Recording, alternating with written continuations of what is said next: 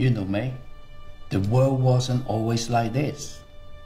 We breathe clean air now, but when I was a child, it was a different place. Our beautiful planet was being poisoned. Our blue skies were once filled with smoke, and our Earth's surface once covered in soot. Mankind was making the world sick. She was struggling to survive. She was suffocating, and so were we. If we hadn't been for courageous few, the fate of mankind and our world could have been very different. They saw what was happening. They saw the sickness.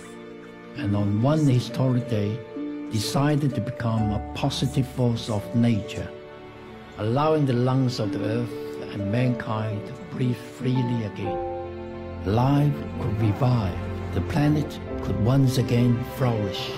That was the day the world began to save itself.